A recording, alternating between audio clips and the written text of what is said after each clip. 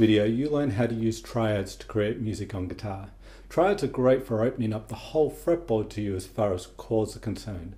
But once you have the triad chord shapes down, what do you do with them? Hi, this is Simon Candy from AcousticGuitarLessonsOnline.net and in this lesson you're going to learn several ways to use triads in the context of rhythm guitar playing. I'll show you three ways to use triads via three different chord progressions. If you're new to triads and you'd like to first focus on getting some shapes down, then click the link in the top right hand corner of this video. However, it's not necessary for you to view that lesson to benefit from what we're going to do today with triads. So let's get into it. Okay, so the first application for our triads in a rhythm guitar context here. So first off, triads can sound okay on their own, but you're not often really going to just hear them as an isolated guitar part. Um, they typically work better as an additional part, a secondary part to an existing chord progression, for example. That's where you hear triads most of the time. They sit sort of on top of the of a chord progression doing something. We'll have a look at a few examples here. Sure, they can they can sound all right on their own for a short period of time, maybe an, uh, an introduction to a song before you know the other guitar and instruments come in perhaps, or um, a little musical interlude of some sort. They can certainly work in and of themselves, but most times triads are played in addition to an existing chord progression. So that's what we're going to do here. Our chord progression is going to be C, G, A minor, and F. And so while that chord progression is playing, one bar on each chord, I'm going to play um, combinations of triads. So all I've got to do is just match the chord. So if the chord is C, I've got to play a C triad, of course. If the chord then goes to G, I need to move to a G triad of sorts, whichever one I want to. As we know, there are options with triads. You've got multiple shapes that you can choose from. You then have an A minor chord in our progression, so find an A minor triad to play on top of that chord. And then the F is the fourth chord in the progression, so find an F chord to play. So I'm just following the chord progression, okay? And what I'm going to do here, you're going to hear this in a moment, okay? So you'll hear it all together. But what I'm going to do is I'm going to, we could strum the triad, but let's say the chords are strumming in the background. They're doing something like this. Uh, maybe a full bar, didn't I say? Um, three, full bar on the chord. So maybe something like this is the progression okay, that's going to be ticking along in the background. Now we can take the triad shapes and create a secondary part to sit on top of that chord progression to create interest and depth and scope for, for the tune. Okay, so I'm going to take that triad combination I used then, which was root position 321 triads on the third, second and first strings. Remember you can click the link in the top right hand corner of the video to check out a lesson just on those triad shapes. However, that's not the point of this lesson, we're, we're applying them. So here I'm going to pick a pattern. I'm going to pick that pattern. And so when I go to G, and then the next chord was A minor and F. In fact, I'll go up to this A minor and then the F.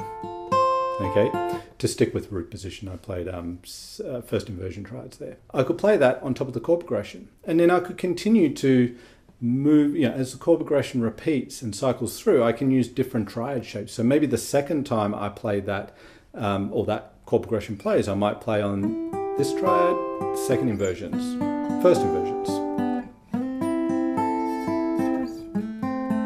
I might do that the second time. So what I do can change in terms of the voicing while behind the same voiced chords, the uh, open chords are playing. And then, as we did in the lesson on triads, the one I referred to in the top right corner of this video, we could play also by position, meaning staying around the same area of the guitar at given points. So I might continue playing over that chord progression, but sort of stick around the same area of the guitar, right?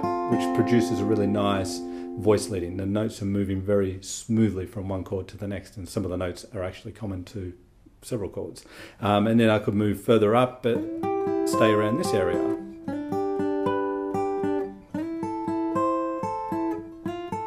Okay, so what I'm doing here is applying the by shape approach, which is using one shape root position to voice the chords out of the progression. Then I was playing by position, which means I've got to use different shapes for each triad, each chord.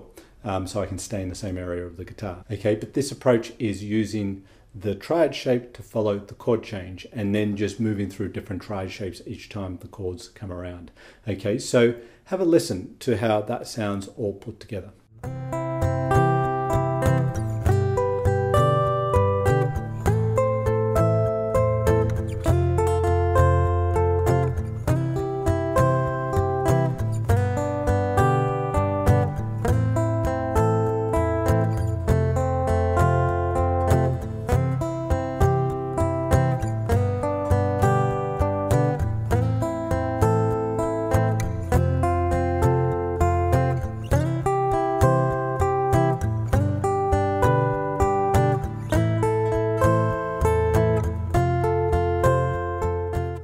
Okay, so this second application is similar in that we are going to be playing triads over an existing chord progression, um, but this is going to be a blues in C. So the backing is going to be something like this. Okay, typical blues in C. Okay, and so on. You'll hear it all together in a moment, so we don't have to go through the whole 12 bar blues there. But that's basically going to be the, the, the groove. And we are going to take these same sorts of triads, the three, two, ones, but there's going to be two things that are happening here that weren't or wasn't happening in the first application. First off, um, we're going to do a, what we might call a little side slipping approach, if you like. And that is where you play the triad and then you go down, a, you can either go up or down a semitone, a fret, um, to then resolve back into the chord. So we get this sort of thing.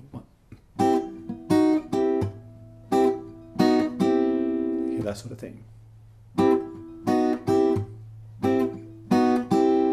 And if you go into the F,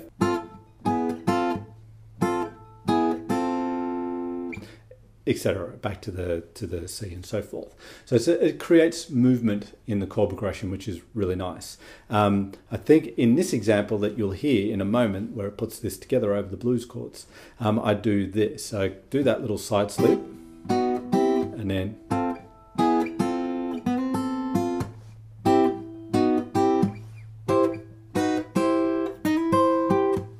what's interesting, what's happening here, is I'm doing the little side slip, I change to F, and every second bar, it's like a two bar pattern, but I'm changing chord there because the second bar there's an F chord in the blues. It's a two bar pattern. I'm on the C, on the two, it's like one, two, three, and four, one, two, and three, and four, and so I have a little arpeggiated approach towards the end of the second bar there on whatever the chord is at the time in the progression. And I slide into the triad play the third string the first and then the second. So it's like one two three and four. One two and three and four and now there's two bars of C that follow. So what happens is I play C the first bar of C then I change to a new triad shape. It's got to be C though because there's another bar of C and I do the second bar of the pattern Okay, so that's one, two, three, and four. One, two, and three, and four. And so that's the other thing that's happening that wasn't happening in the first application. And that is while the chord is static, meaning while the chord just sits on C in the, in the rhythm for two bars, we move from this triad to this triad. So you can change triad, you've got to stay on C because the chord hasn't changed, it's a static chord, but you can change between C triads to create variation and, and movement in the triad part, which is very cool. I do that all the time when I use triads. Now you need to be, you know, you need the chord to sit there for, you, you could do it over a single bar depending on the, tempo of the song. But if you've got a couple of bars to play with, if a chord's going to sit there for a bar or, or two, then you've got time to move from you know different C major triads, doing whatever it is that you're doing on those triads. So that's very cool. The triads can be moving while the backing is staying constant. Okay, so you get that nice contrast there.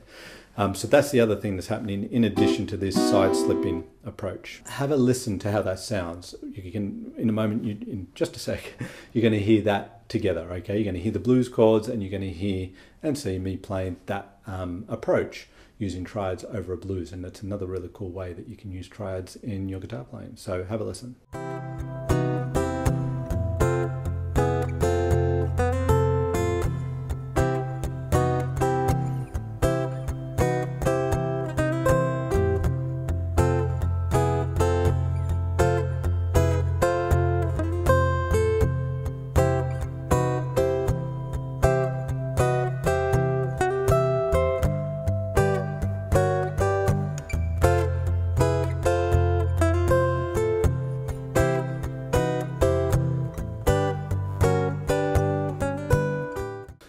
So with this third application with our triads in rhythm guitar context, again, a chord progression and triads on top, but we're going to be doing something different again with the triads. So first, the chord progression we're going to play on top of is an A minor, so uh, the keys A minor, A minor, F, C, and G.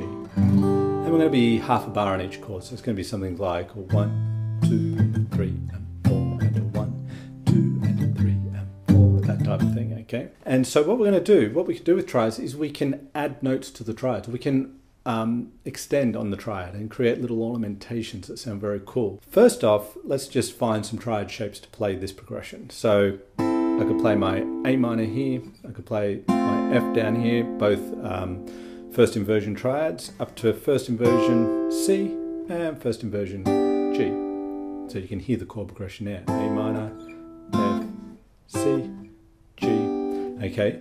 And what we'll do is a little trill on top, a little decoration, ornamentation here.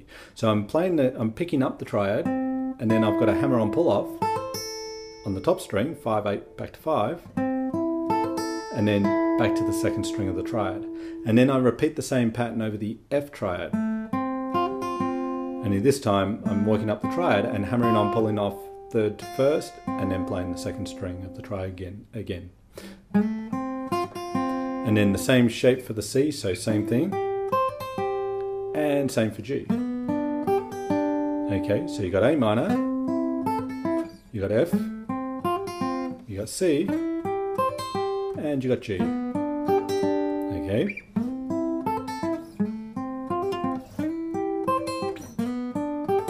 That type of thing. Okay, very cool sound. You might kind of it's kind of reminiscent of like John Frusciante and the Chili Peppers, that type of thing, right? That's what's going on there. So we get that nice decorative element that we can add to triads. Just because we're playing a triad doesn't mean we can't add notes to it, and so we're doing that. Almost not really adding notes, because the note's so brief. It's really just decorating the notes of the triad more than really adding a note. But you can certainly add notes as well. So have a listen to the application of that over the chord progression in A minor here.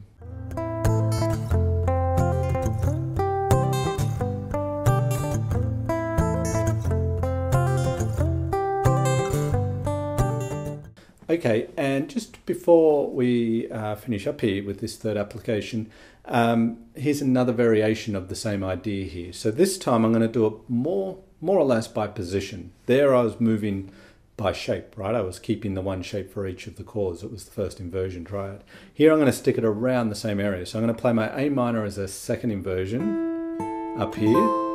Then my F root position is right there. Only one note difference between those two triads, A minor and F. And then I'm going to play the C, which is right there as well. So look how neatly they fall and how they sound as a result. And then I'm going to go up to this one for my G. Okay, so they're going to be the chords, um, the triads that I'll use. And same little idea, the ornamentation on top, right? The decorative element where we go. So it's my pinky that hammers onto 10 of the first string and pulls back down to the 8th fret, which is under the first finger, and then I play the second string. So the same sort of pattern, different triad shape. And then I can sit there and go to F, now I need to fret the F a little bit differently to keep the pinky free. So I'm going to use my second and third fingers there on the second and third strings and my first finger as it is always on the first string. And then I got the pinky free to do the little hammer on pull off. And then it was C. So notice up until that point, because we're staying in the same position, the ornamentation is the same, but the chord changes. It's always this, which is very, or just about, I think almost. It, it, the note on the second string might change, but the ornamentation on top doesn't. So you got A minor, F, C. The only time it changes is when you go up to G, okay, where you need to just again use your second and third fingers so the pinky's free to get the hammer on pull off, right?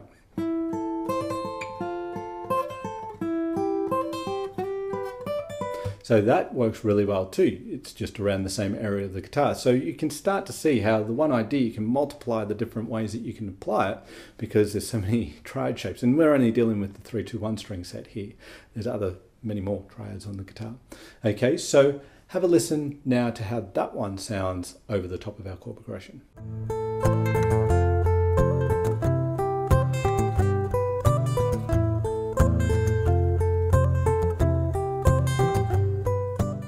If you like this lesson, then you'll love this free ebook audio I've created for you about using fragments of chords to solo with on your acoustic guitar. Of course, chords are thought of in the context of rhythm guitar playing. However, have you ever considered them for soloing? In this ebook, you learn five unique ways to use chord fragments to solo with on your guitar. Chord fragments allow you to create a great dynamic with the contrast of single notes to chords in the lines you play. All examples in the ebook have been broken down into the finest of detail so you can not only play them, but understand what is going on. So you can use chord fragments in your own guitar solos. So click the link below the description of this video and download your free ebook audio how to improve your acoustic guitar solos by using these five cool and easy tricks.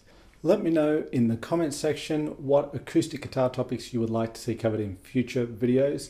I read every comment and I always love to hear your suggestions. If you like this video, then hit that like button and if you haven't already, subscribe to the channel and of course hit the notification bell button so YouTube tells you when I've released a new video. This is Simon Candy from acousticguitarlessonsonline.net. As always, thank you for watching this video. I really appreciate your time and I look forward to seeing you in the next video. Bye.